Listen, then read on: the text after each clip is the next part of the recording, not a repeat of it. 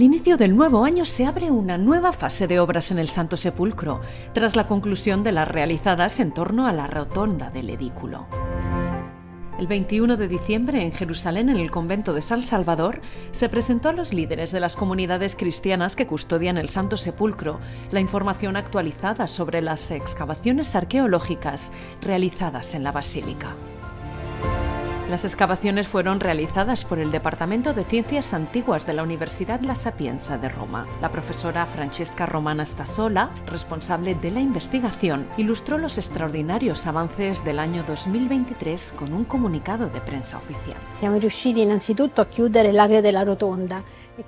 En primer lugar, conseguimos cerrar la zona de la rotonda y esto nos permitió empezar a comprender la constitución de esta zona especialmente sensible y en primer lugar comprender esta doble fase arquitectónica, es decir, la presencia de una primera monumentalización de la zona de la tumba y por tanto el establecimiento de una primera fase a principios del siglo IV y luego una segunda fase con la actual rotonda.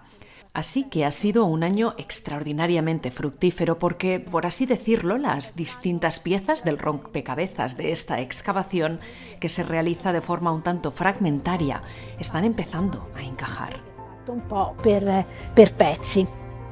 Y sobre todo se nos ofrece toda la historia de este lugar extraordinario, comenzando por la cantera, es decir, desde una época muy antigua hasta la época contemporánea.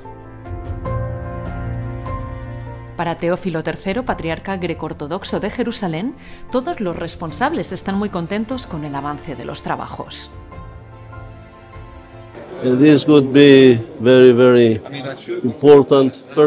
Es muy, muy importante. En primer lugar, para la propia Iglesia, para el Santo Sepulcro pero también para las comunidades cristianas y el pueblo de Jerusalén.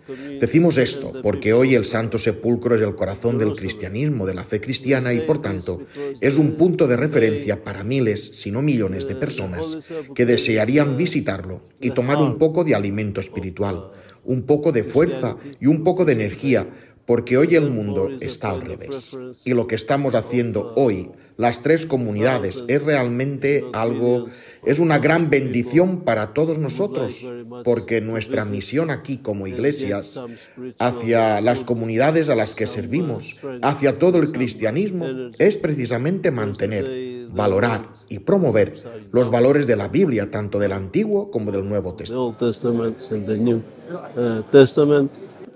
What I would like to say is the um, the place that we are uh, restoring is a holy place. Lo que me gustaría decir es que el lugar que estamos restaurando es un lugar santo y es un edificio muy antiguo, tiene piezas antiguas, requiere trabajos de renovación y restauración para que dure. Y estamos contentos de que las tres comunidades hayan llegado a comprender y darse cuenta de que es importante restaurar la iglesia en beneficio de la vida del edificio y para el disfrute de los fieles que vienen de visita aquí a Jerusalén. Building and uh, for the enjoyment of the um, faithful that they come and visit uh, here in Jerusalem. Para Fray Dobromir Jastal, los trabajos de 2023 se han desarrollado muy bien y han respetado las diferentes fases del proyecto. La primera fase de los trabajos arqueológicos es la más larga porque evidentemente implica un enorme trabajo de excavación y estudio. Este año ya se ha alcanzado un buen nivel en este aspecto. En los próximos meses, según lo previsto, continuarán las excavaciones en las demás zonas. Luego la siguiente fase será la de infraestructura y pavimentación. Certamente questo anno è andato molto bene. Sin duda este año ha sido muy bueno. Al principio, la agenda de trabajo también tuvo en cuenta las dificultades de la aglomeración de peregrinos en la iglesia y las diversas funciones, por lo que el trabajo se organizó de manera que no perturbara las visitas, oraciones y procedimientos, así como fuera posible llevar adelante los trabajos. El objetivo se ha conseguido. Estamos en un buen punto y esperamos poder seguir en los próximos meses para concluir. Siamo a buon punto e speriamo di poter continuare nei prossimi mesi per concludere. Es un proyecto importante, es la primera vez que esto se hace en cientos de años. And at the end of the day, what the, the... Y al final de la jornada lo que los peregrinos verán serán placas de mármol. Deben quedar bien porque aparecerán y deben coincidir con el valor histórico y dar el valor histórico de la Iglesia. Para Fray Francesco Patón, custodio de Tierra Santa, el trabajo realizado tanto por los arqueólogos y restauradores como también por quienes siguen todo el tema de las infraestructuras ha sido un gran trabajo.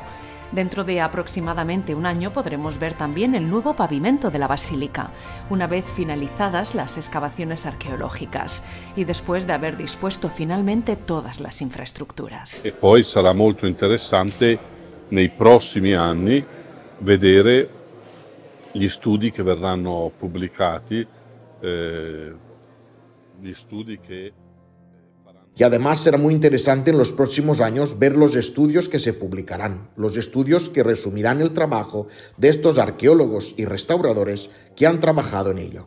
Creo que al final será muy interesante lo que puedan contarnos y ofrecer como síntesis de una gran obra y también para mostrarnos cómo este lugar, que es el lugar más importante para los cristianos, porque es el lugar que nos habla de la sepultura y resurrección de Jesús, es un lugar que a lo largo de los siglos podemos decir que ha evolucionado lentamente, pero partiendo de la certeza de esa tumba excavada en la roca de la que hablan los evangelios. certezza di quella eh, tomba scavata nella roccia di cui parlano i Vangeli.